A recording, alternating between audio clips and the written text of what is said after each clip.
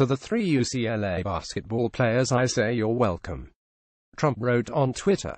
Go out and give a big thank you to President Xi Jinping of China who made your release possible and have a great life. The three basketball players, LiAngelo Ball, Cody Riley, and Jalen Hill, specifically thanked Trump Wednesday afternoon for personally intervening in their case and speaking to Chinese President Xi. Trump also offered some advice to the three players. Be careful, there are many pitfalls on the long and winding road of life, he wrote. The president signaled disappointment on Wednesday morning after the three athletes returned to the United States, but did not speak to the press. Do you think the three UCLA basketball players will say thank you President Trump? he asked. They were headed for 10 years in jail.